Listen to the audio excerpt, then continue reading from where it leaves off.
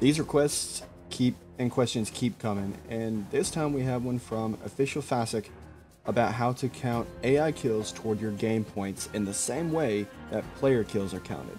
What if I told you that this script uses four nodes, and that's it?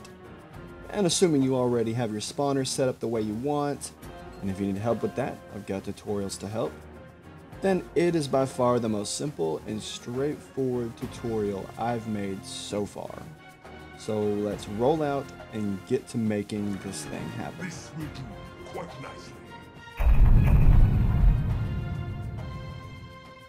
Okay, so to start this, I'm gonna clear up this little bit of stuff because we don't even need it. There we go. Okay, so to start, all we need to do is throw down one of our AI spawners, which I'm gonna pretty much be cut and dry on this one and just say I'm gonna speed through it all since I've already gotten plenty of tutorials out now that shows you pretty much what you need. Just keep in mind to make sure that you can spawn it from an AI. Okay, now we have our AI spawner. Let's go ahead and create a script brain to make it endlessly spawn. I'm going to use my one of my previous tutorials. I'm going to use its spawning method. So that way this grunt that I'm going to spawn is just going to keep spawning over and over again. So I'm going to speed through this. If you want to know what that spawning method is, I'm going to leave a link to that video in the description so you can go ahead and watch that tutorial. But I'm going to go ahead and, and speed this up and, and get this whole thing set up and so we can get this rolling. Okay, now we have him rigged up to where we can make sure he just respawns every time. Alright, build him. One second passes, he spawns again, we're good. Okay, now here comes the good part.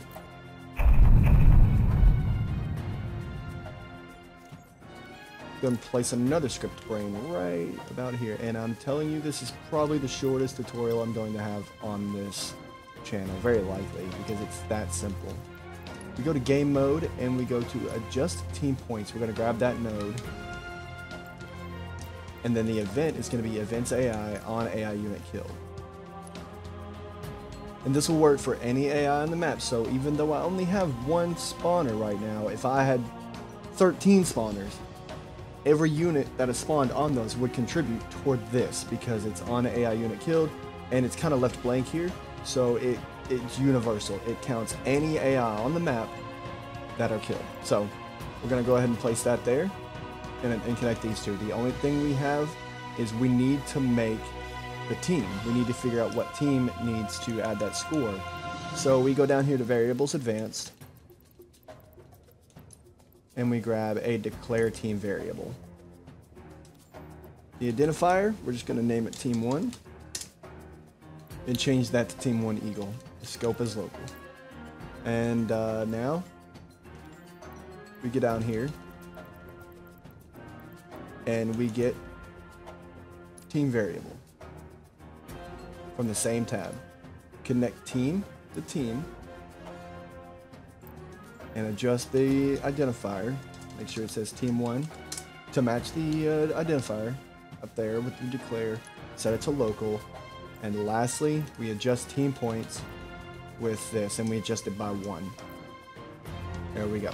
So what this does is now every time you kill an AI unit, your score toward the game, like let's say um, you're in Slayer and you kill an AI, that is now going to count sim- the exact same way that a player kill would count. It just it won't add onto your kills. It'll just it'll still say you have zero for everything, but your team score will have at one added onto it for every kill that you get. Now, if you want to do this for multiple teams, all you would have to do is duplicate this. Basically, yeah, you'd have to duplicate the whole thing for each team. Move this over here. Except this time we use this and change this to team 2 and then change it to team 2.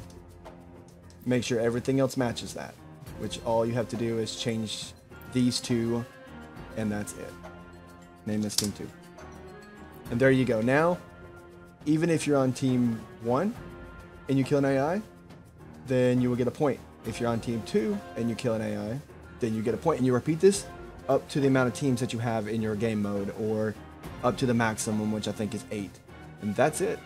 Now all we have to do is test it. We can't test it in Forge mode, unfortunately, because the way that running the script works, it doesn't show your points. So I, if I was to press uh, the options button, then it wouldn't show my points. It would simply take me back to monitor mode. So what we're going to do to test this out is I'm going to load up a game of Slayer by myself and just, uh, and then I'm to check team score every time I get a kill and to make sure everything works.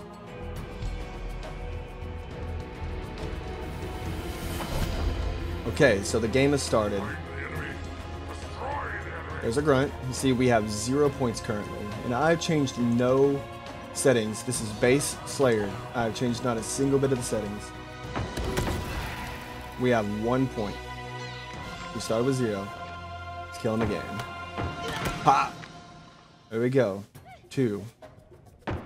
Kill him again. We have three. Notice my score over there doesn't have anything on it. It doesn't have any kills, any assists, nothing.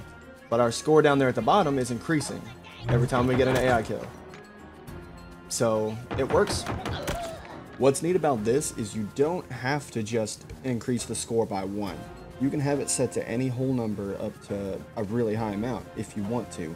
So if you want to, for example, set an AI to something like 10, so while players are set to something like 50, then all you have to do is change the score adjustment on the adjust team score node to 10 or whatever else you want.